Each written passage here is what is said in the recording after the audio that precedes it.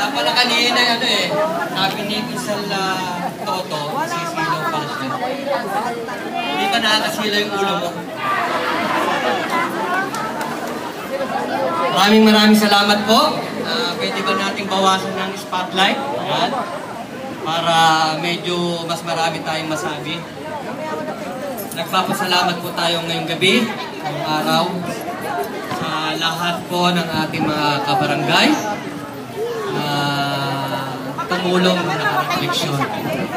Ito po isang victory party at Thanksgiving ng Team Piping po. Palakpan po naman natin. Magpasensya ninyo ha, medyo injury.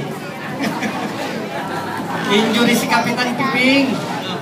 Pero siyempre, ginawa pa rin namin ang paraan na kami po ay makaharap muli sa inyo upang ipaabot po namin ang aming pagpapasalamat sa lahat po na tumangkilik at sumuporta, lalong-lalo na po sa ating mga leaders. Palakpan po naman natin sa ating mga leaders.